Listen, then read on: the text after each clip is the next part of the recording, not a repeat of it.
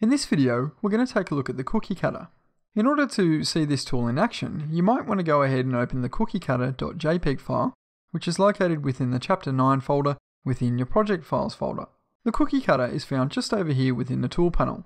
What this allows us to do, essentially, is draw a shape over our image, and when we let go, you'll find that we've now added the image within that shape area. You'll notice from the Layers panel, we have the image and also what we call a vector mask. So this is the heart and the shape that we're seeing here, and within that, we're seeing the image. So essentially, this grey area in the mask is the area that's being hidden, and the white area within the heart is the area that we're seeing. Now let me undo that. I'm just going to press escape here to not accept those changes, and I just want to show you some of the options available within the tool options bar. You can see here, if we didn't want a heart, we could change the shape.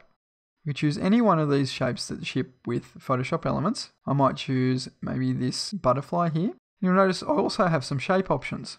At the moment, when I click on this little arrow, I've got an unconstrained shape. I can define the proportions or define the size. I can type in a fixed size and have this draw out from the center. For now, I'm just going to leave it at unconstrained.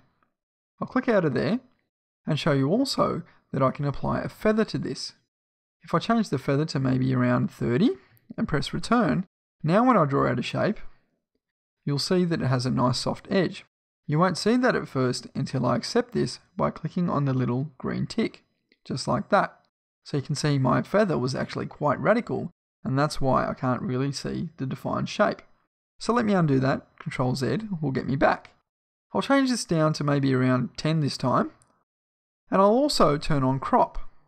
Crop means when I draw out my shape just like this, when I accept this, the image is going to be cropped to the size of the butterfly, as you can see there.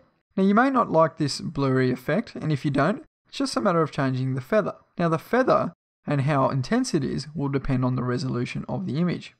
As you can see here, we've got a resolution of 72 pixels per inch, and that's why these slight amounts of feathering are looking so radical. Let me undo this once more, and I just want to show you one more thing.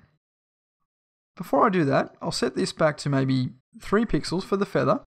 Now if I drag out a shape, you can see it's being distorted, right, both when I go to the left and right and up and down.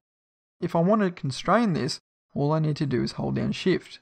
Once I hold down shift, this increases in proportion and the correct scale is acknowledged. So I'll let go of this now, and what you'll find is I can press the green tick to accept this, or press this little circle here with the slash through it to cancel. I'm happy with this, so I'll press the green tick.